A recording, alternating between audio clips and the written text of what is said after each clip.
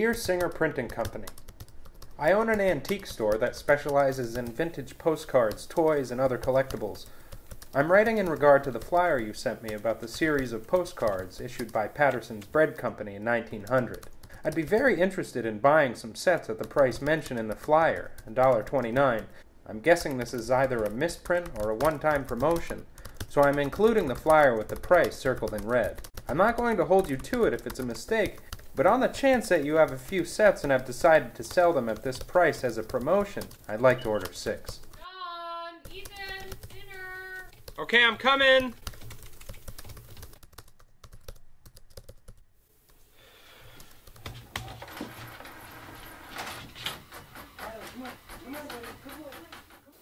Someone must have kept these in a bank vault for the last century. These are in unbelievable condition. You said a bread company created them? Yeah, in Hartford in, in 1900 they would put one postcard in each loaf of their bread. The eight postcards showed scenes predicting what life in America would be like in the year 2000. Oh, come and take a look at this. Move your hand. Personal flying machine, machines that controlled the weather. What do you think they're worth? That's the crazy thing. Manchester's Guide to Collectibles lists a set of these as $600. And that's if they're in just fair condition. But these, these are mint. No creases, perfectly square corners. How much did you say you paid for them?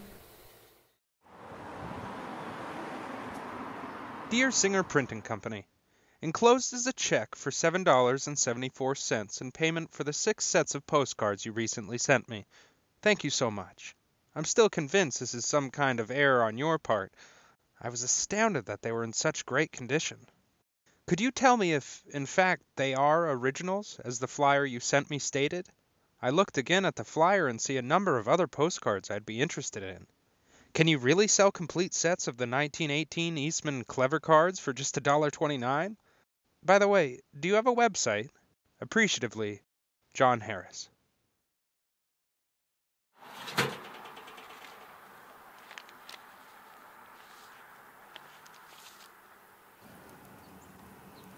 Dear Mr. Harris, we are in receipt of your letter and are sorry to say our bank could not cash your check. We are therefore going to be unable to send you the additional postcards that you expressed interest in. First, you must send us a bank check or cash for the previous order. Again, the total owed is $7.74. And to arrest your fears, the postcards we sent are from the original print run. Also, I don't know what you mean by website. Respectfully, Mrs. R.J.L. Singer, Singer Printing Company.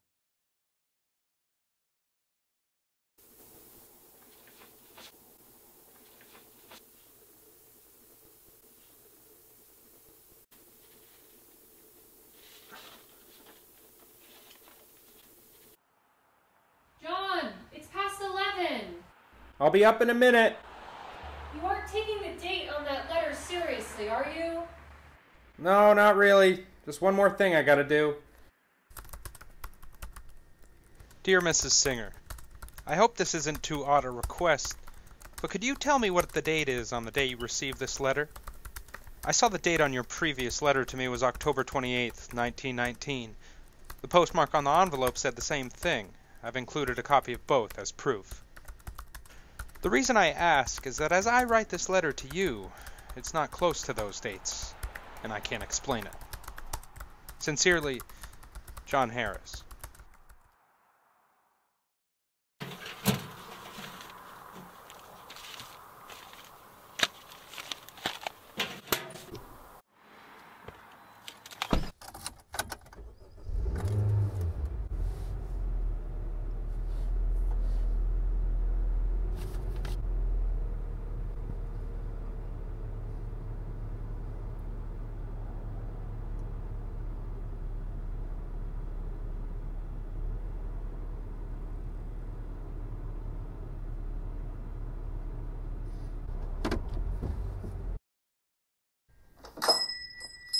Dear Mr. Harris, I'm the owner of the Singer Printing Company. Your letters were passed on to me by my wife, and I can confirm the dates on the letters we sent you are correct. October of 1919. Yet I look at your letters to us, and Clearly, 1919 is not the year on them.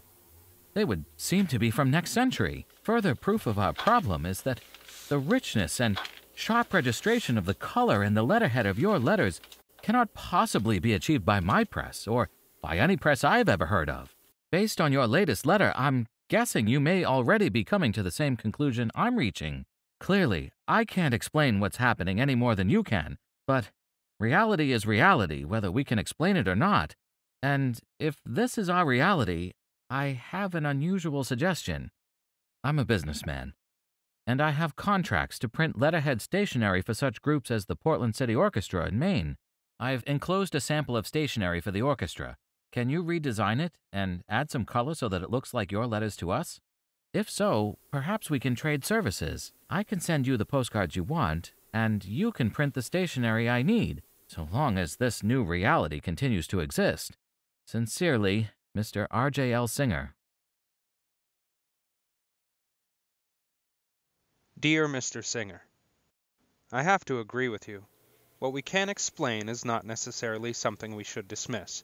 And yes, I'm a businessman too, and if this is our particular reality, then let's take advantage of it. I redesigned the Portland City Orchestra stationery you sent me, and enclosed as a sample.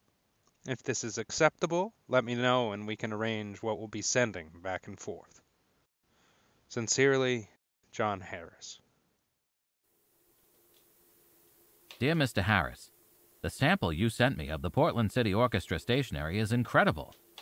Enclosed are 25 sets of the 1918 Eastman Clever Card series you expressed interest in, as well as a selection of other postcards you might want to consider. In return, can you send me 300 copies of the Portland stationery? I've also included a sample of the program for the Brattleboro August Outdoor Shakespeare Festival. I'm sure you can improve on it. Can you send me 500 copies once you're done? About our situation, I feel that the fewer questions asked, the better. Sincerely, Mr. R.J.L. Singer. Dear Mr. Singer, I'm sorry I haven't been able to write you in the last two weeks. I had to spend a night in jail in Northampton and then several days in that city while I met with lawyers and went to court. I attended a collector's show in Northampton to sell the sets of Patterson's Bread Company postcards you sent me. Unfortunately, condition of the postcards was so exceptional that I was arrested on various charges, mainly selling fraudulent documents. A buyer tested the paper and ink of one set I sold him and found they were less than a year old. I was so upset that I drove to the Registry of Deeds office in York County this morning and found that the Singer Printing Company occupied the building at 28 North Maple Street in Turner's Falls from 1898 to 1938. Then I drove to Turner's Falls to find the building. It's now home to several craft studios and a beer brewery. However, after several sleepless nights, I think I may have arrived at a way we can salvage our situation. I have a request. Instead of sending me additional items through the mail, could you do the following? Could you take 20 complete sets of the 1907 June is the Time to Wed postcard series and put them in a well sealed cedar box? Then measure exactly 100 feet directly back from the one door in the rear of your building. The location is on the edge of a field in my time, so it should be in a field or on the edge of one in your time. Bury the box so the top is 6 inches beneath the ground surface. In return, I'll print 500 copies of the Brattleboro Festival program and send them to you in the mail, as we have been doing, so the items will be brand new when you get them. I'll drive up to Turner's Falls again in a few days, and we'll dig up the buried box after dark when the building is empty. I'm confident the postcard paper will be sufficiently aged that I can sell the collections without a problem, ending my financial stress and allowing us to return to doing business as we have been. Sincerely, John Harris.